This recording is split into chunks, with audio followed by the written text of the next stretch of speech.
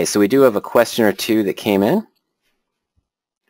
And uh, this one is coming directly from Dan. And Dan says, it would be great if you could show how to select good candidates for the poor man's covered call. Okay, Dan, that's an excellent question. I'm going to do something first. Let me just jot this down. Poor man's covered call. Okay. So the first thing I want to show you, Dan, is I'm going to navigate over to the free webinar section. This is a public page, poweropt.com slash webinars.asp. I'm going to send that link to everyone in the chat there. And of course, poweropt.com slash webinars.asp for those of you who are watching the recording later on. And Dan, I'm just going here because I want you to click on the Option Strategies tab. There's a variety of different presentations here. And I think we're going to go back to the beginning of 2019, if memory serves correct. Well, maybe it's older than that. There we go. And it was older than that. From March 15th, 2017, we sort of did a double presentation here. We did a calendar spread basics. That was just discussing the horizontals versus diagonals. And then the calendar spread criteria. We recover the underlying stock criteria for diagonal and horizontal spreads, criteria set up for the proper structure in weekly or monthly diagonal spreads. The reason I'm showing you that, Dan, is I don't know if I'm going to have be able to go through the full discussion today as we only have an hour for the total presentation. I'll be more than happy. We're going to go over it, don't get me wrong. But later on this weekend, if you have the time, go to the webinars page, scroll down to 315-2017, and check out calendar spread criteria for more in-depth discussion on what we're going to have right now. All right, now up at the top of my screen, I have some of the various strategies set up, but I don't have calendar call. That's the poor man's covered call.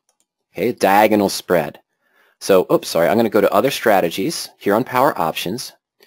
Let's take out short collar, and I'm going to go ahead and add in calendar call to our menu and save the configuration. Okay, so now we have calendar call available as one of our tabs, and I'm just going to go into the main screen. Now, let me go back a step for those that are brand new. Covered call, of course. What are we talking about with a covered call? We buy stock, and then we're going to sell an at or out of the money call for planning on holding that stock long term to give us some appreciation.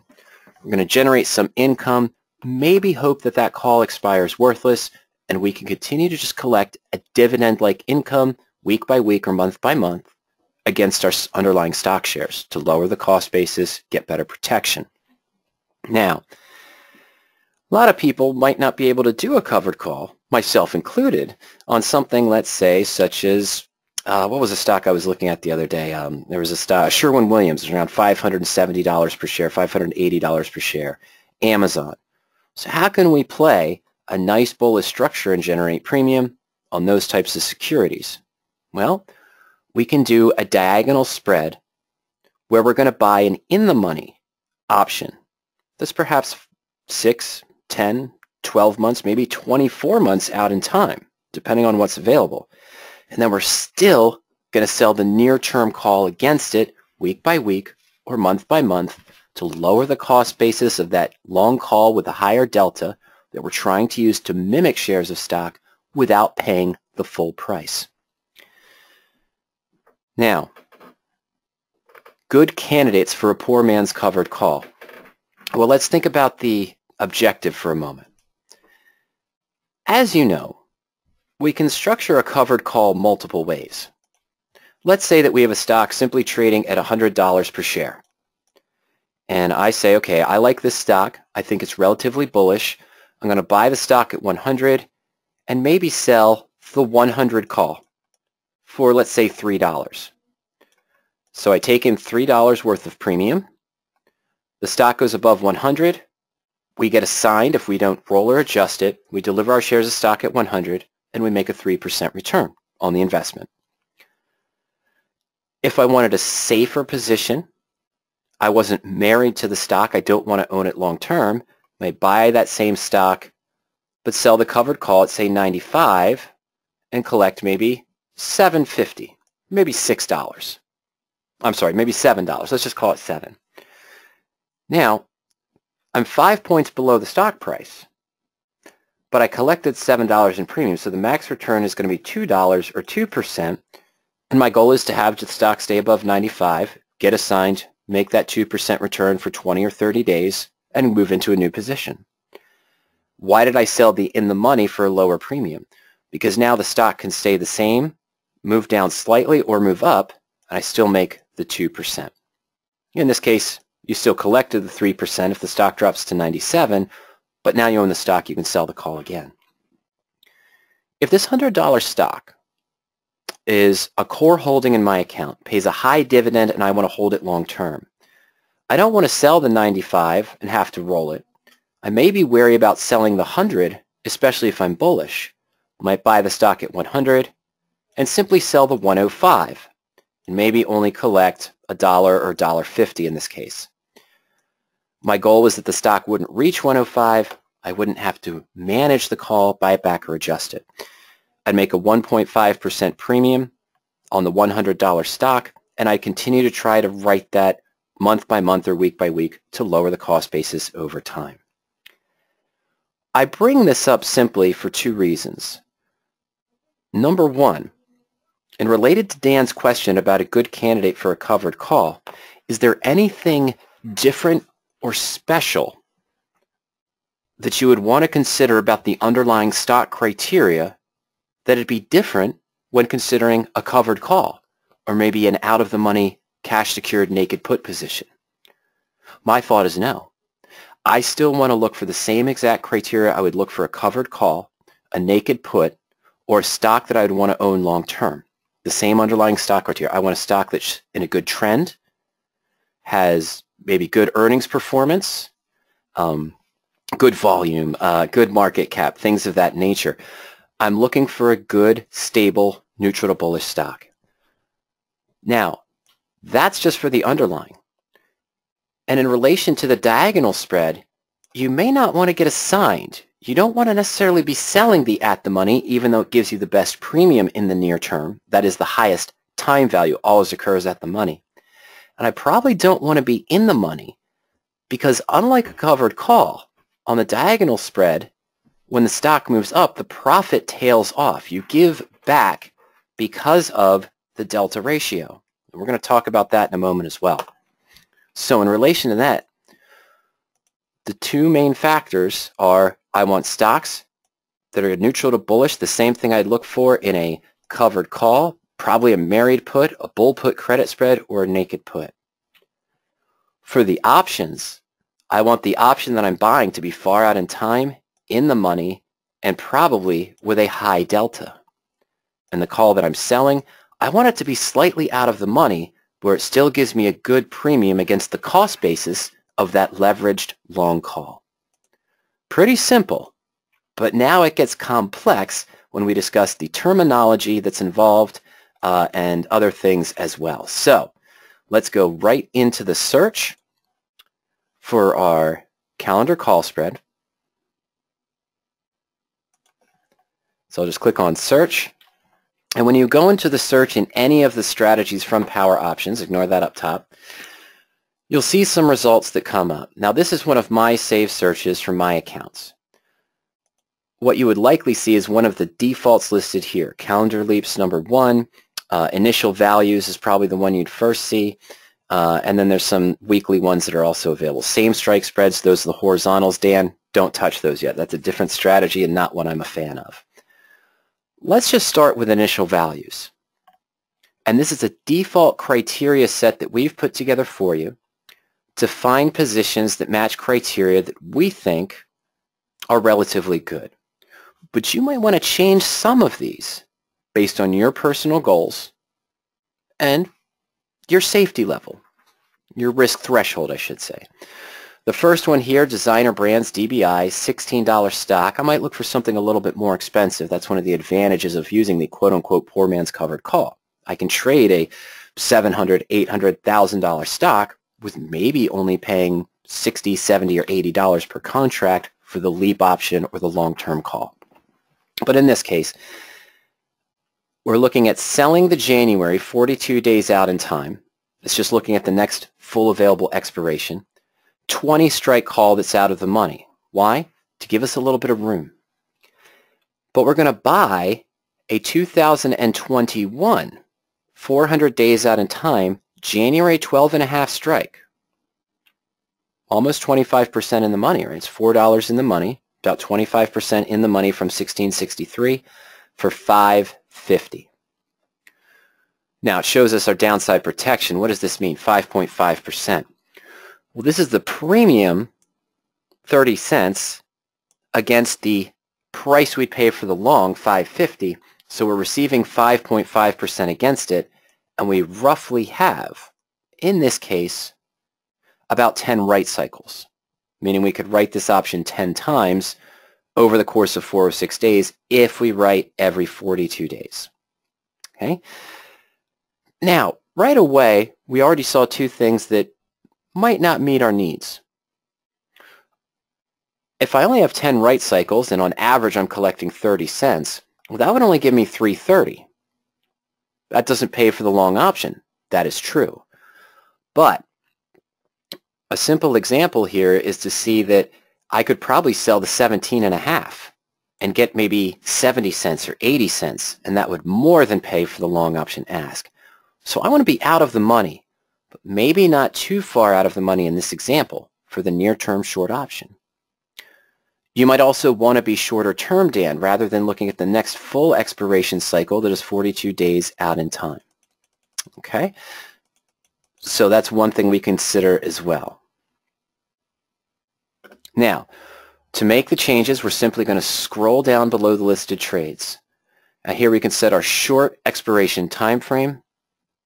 I'm going to curb this a little bit, Dan. We're going to drop this down to 0 to 30 days. Or I could just choose to look at standard expiration for December, which is only 14 days away, and then consider writing again for January, February, March, and April. You could look at all leaps if you wanted to. I'm just going to leave it at this 250 to 650 days out in time. Two important factors here. We saw the net credit, the net debit. Okay, this is what you'd pay, the difference between the two. Depending on what types of stocks you're looking at, you might want to adjust this. I had mentioned Amazon. Now, they're going to have some high cost for the in-the-money options, but they're also going to have high premiums for the ones that you're selling. However, those premiums might be greater than $15. So let's just up this. We're going to change it to look for a net credit. This is a debit. We're going to look greater than negative 30. And I am going to put that downside protection up to 5. Now, I am going to leave this here, forcing the short out of the money call to be at least at or out of the money. If you want it to be more out of the money, for the near-term call, I can use the percent out of the money, say greater than 2%, greater than 3%, allowing more room for growth on the position. And we want to be at least 5% in the money or so on that deep option. Now, this is more in the face of using a diagonal spread. This delta I'm looking at is more in a relation of using a diagonal spread as a nearer term strategy to maybe buy five or six months out of time and sell a near-term, slightly out of the money call against it and hoping more for the appreciation and maybe getting out of the position in 60 days. My understanding is that some of the investors out there, some of the uh, options coaches out there that teach this quote-unquote poor man's covered call are looking for a higher delta on the long and they're going further out in time. So we might look for a delta ratio of say greater than 0.8 for the long option. You want to be deeper in the money, higher delta, so it moves more than one-to-one with the stock. Now, what does that mean? It means it's going to have a higher cost, may result in higher debits as well, but we already took care of that. You may need to lower this delta ratio down just a little bit, say to 1.7, okay, instead of greater than 2. That's the difference between the long option and the short option delta. So if I'm forcing the long option delta to be 0.8 or 0.9, that means the short option delta if I'm using a delta ratio of greater than 2. All right, but that short option delta would have to be greater than 0.4 or 0.45, which by definition means you're right at the money. We want to be a little bit out of the money if possible, so I'm going to lower this delta ratio so we can stay in that 0.4, 0.3 range, be a little bit out of the money. This is a filter kind of unique to PowerOptions called the debit to strike difference ratio. And I always want this to be less than 1, Dan, no matter what type of calendar spread, well, what kind of diagonal spread I'm doing when they're different strikes. What this means is that the total net debit I'm paying into the position, let's say my debit is $10, has to be less than the difference in strike prices. I'm going to explain that when we look at a profit and loss chart in just a moment. Okay, But it's very important to have this debit to strike difference ratio of less than 1. Now you can limit the bid-ask spread. So I'm not looking at things that have too wide bid-ask spread. You can put in your required volume or open interest for the two options. That's perfectly fine.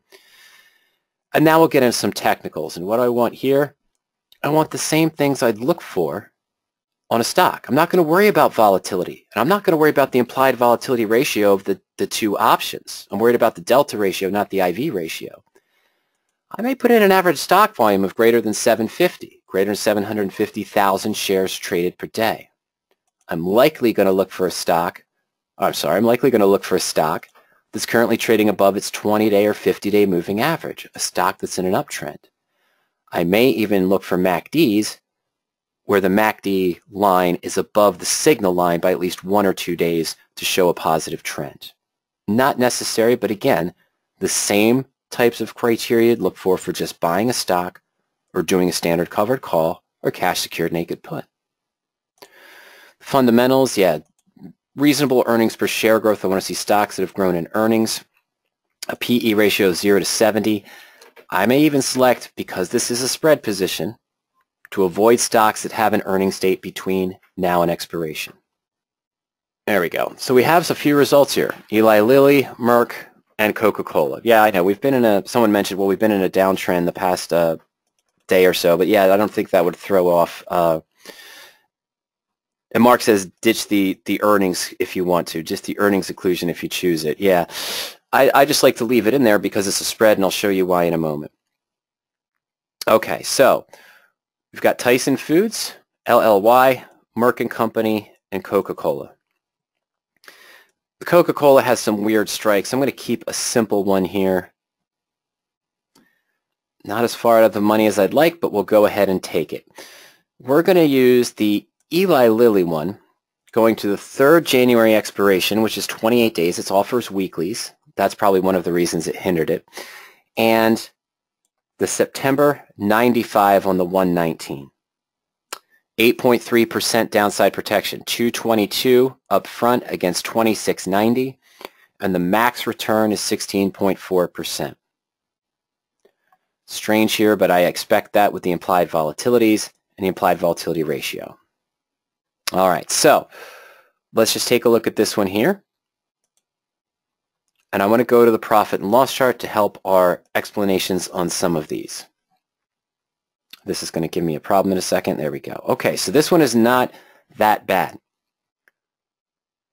Now, what did we do here? We have a debit of $24.34 on a spread width of $25.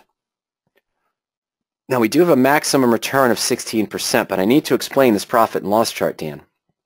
This is the profit and loss chart at January 3rd expiration 28 days from now. Based on the theoretical Black-Scholes pricing model of what the long option would be worth, or 2020, was that a 2021 January series? I apologize. No, September 2020. So it's based on where that September 90 call would be priced if the stock is trading at these prices. It's a theoretical calculation. It's not a guarantee.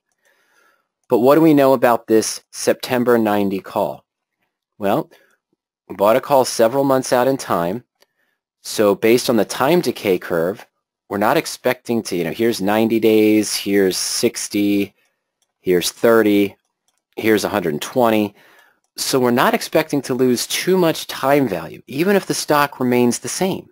That's one of the great things about this type of strategy is that 222 out of the money 120 strike on LLY, that 222 is going to start to decay rapidly, but this 90 would retain a lot of its time value until we get into the last 45 days or so. So this peak return is based on the theoretical value of our 90 call if the stock's trading right at 120 on 3rd January expiration. And why do we see the profits start to dip down? It's not that bad. This dip down from the max doesn't seem that high, and that's why I said it looks pretty good. Why is that happening? Okay. Remember, we searched for deltas that were greater than 0.8 for the long option and keeping a delta ratio of around 1.5.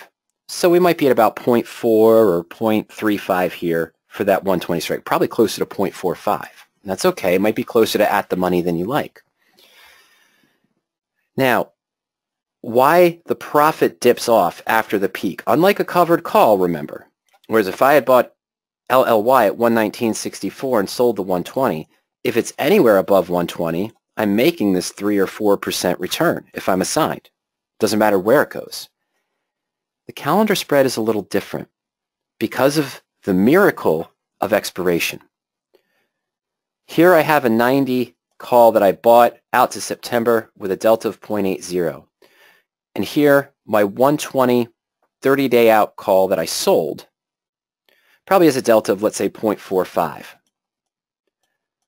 Now, let's say the stock goes up to 121 the day before January, on January 2nd, the day before January 3rd expiration. It only moved up a point. My 90 September put might go up to a delta of 0.82, maybe 0.83. You know, it, it's increasing as the stock moves up. And this option might have gained 85 cents for that $1 move up to, let's say, 120.64 or 121. But the delta is creeping up slowly. This short September delta, I'm sorry, this short January delta, my apologies, is now going close to a delta of 1 if it's in the money or 0. It might actually be at a delta of 0.94. With one day left to expiration, the 120 strike with the stock trading at 121. So what it's telling you is the stock continues to go up. This short option on or near expiration is going faster to a delta of 1 and your leap option is still lagging. That's why you come off of the full profit. That's an important point. Important point number two that I mentioned, debit of 2434 on a strike difference of 25 my debit to strike difference ratio. Why is that important? Let's say I enter this trade and next week LLY gaps up to 130 for some good news, um, early earnings positive report, which we don't often see. But let's just say it jumps up to 130. I get assigned early on my January 3rd 120 call. We say, hey, no problem. That's why I bought the 90. So yeah, I have an obligation to deliver shares of stock here at 120. I'm sorry, but I bought the 95, isn't it? I apologize, but we bought the 95 call in this case, so that covers it. And you're right. But what's the difference? We get 25 back only. I buy shares of stock at 95. I deliver it at 120. We get 25 back on a cost basis of 24.34. So I make what? 66 cents not 399. Why is there such a difference? Because remember, this max return is based on at short-term expiration, you still retain the time value through September. And if this call expired and you sold to close the long option, you'd get both the intrinsic and the time premium. If you get assigned early, you just get intrinsic back. You don't get any time value even if it's still out to September. So that's one of the dangers of referring to this. That's the first subtle danger of the why referring this as a poor man's covered call is dangerous. Because this is expected on the assumption that the best return occurs and you're in a position to sell to close that farther out option that you had to get both the extrinsic and the intrinsic value. If you get assigned early, the profit is the debit minus the difference in the strike prices, which is why I never want a debit that's greater than the difference in strike prices because I could actually be at a loss even if it was assigned early. So that's a key thing. The second thing here is to remember what we're doing. we're using a leveraged option that cost us around $26 and is now roughly, as we mentioned, about 24 points, 25 points in the money right now. But it's a leveraged call. And this is the real reason why I dislike the term poor man's covered call when talking about a diagonal spread. I collect 226 for the 120 at the money call and buying Eli at 119.64. So I'm making about a 1.8% return, right? Or maybe a 1.7% return on the position. That's 226 by 119, okay? All right, now, maybe that's a little bit too high, but in any case, if the stock falls 10%, $11 to 108, I keep that 226. I lose $11 on the position. Let's call it 12 down to 107. I lose about $12 on the position. I keep the $2.25 or whatever, so I've lost $10 or about 8% on my cost of 119 or really 117. And that's, let's say, in the first 14 to 15 days. Something goes the opposite direction and it falls to 107. You're in a long call now, not the stock. If the stock falls to 107, say day before Christmas, in this case, you paid 26.60 for the long call, the theoretical value would be 1805. You didn't lose the $10 I lost on the stock but you lost $629 on an investment of 2400 So you're essentially at a little bit more than a 25% loss, one-fourth. If the stock drops 15%, you might be at a 40% loss on the position. Are you losing as much monetarily? No, but you're falling into the trap of the lie of leverage. Here's what I mean. If I did a covered call in LLY, of course, it would have cost me about $12,000 to buy 100 shares of stock and sell the call for that 1.4, 1.7% return if I'm assigned at 100. The diagonal would have only cost you 2,400. But let's say you had 8,000 to invest, 9,000 to invest, you did four contracts. Now you're falling into the lie of leverage. Do you stand to potentially make much more? Absolutely. But remember, unlike a covered call where if the stock falls 10% or 15%, you know you've lost 7% or 12% because you generated 3% in premium. Here you're going to be losing 20, 25, and if there's a 15 or 17% drop, you might be at a 50% loss on the long call. Even with the delta of 0.8, even deep in the money, even higher than that. So that's what you always have to take into consideration is that percentage-wise of what you invested, this is still leveraged even with that higher delta, and that can get you into trouble if you don't practice proper position sizing. Okay, so just wanted to uh, make sure all of that's clear. Real quick review. Use the same stock criteria that you would consider looking for a quality stock that you're neutral to bullish on almost the same criteria you'd look for a good covered call, naked put, bull put credit spread. You want good volume, quality stocks in an uptrend, whether using MACD or SMA. That one thing I just mentioned to you, and uh, Mark was correct, right? We're going into another earnings season soon, 30, 45 days in. So I might be filtering out a lot of stocks right now. But just even though we call this the poor man's covered call and we're using a deep in the money call, it's still a bullish sentiment. And it's a leverage bullish sentiment. So if I hit an earnings and the earnings disappoint and the stock falls 15%, yeah, I still probably have several months I can write against it, but my current position is down 40, 50, 55%. Okay? that's usually when most people would say it's time to get out of the spread, lick your wounds, and try to make it back other ways. Very hard to manage a position that has a 40 or 50% loss. There are ways to do it, but it's very difficult.